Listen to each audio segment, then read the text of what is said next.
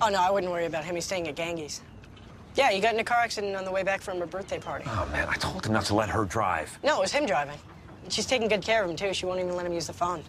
So you're telling me that he can't go anywhere, and he's incommunicado? And that's when Gob decided to take the yacht to South America for the summer. We gotta alert this boat's crew. They'll be devastated. How hard did you hit that steering wheel? I actually hit the back of my head. The back of your head. Yeah. Gob, the accident only happened because I was trying to scare you. Maybe even hurt you. That doesn't sound like you. Sounds like mom. Uh, can we please just lay off mom for a change? I mean, she's the one that helped me remember what happened. And trust me, I'm the bad guy here, not her. And definitely not you. So, would you please just take the yacht?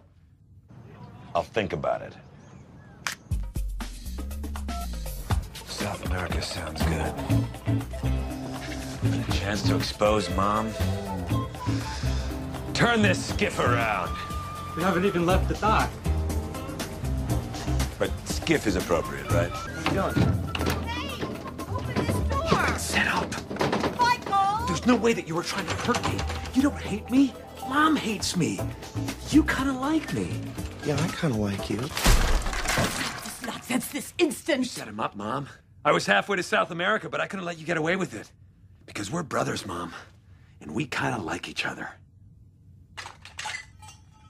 You were going to South America? I don't think so.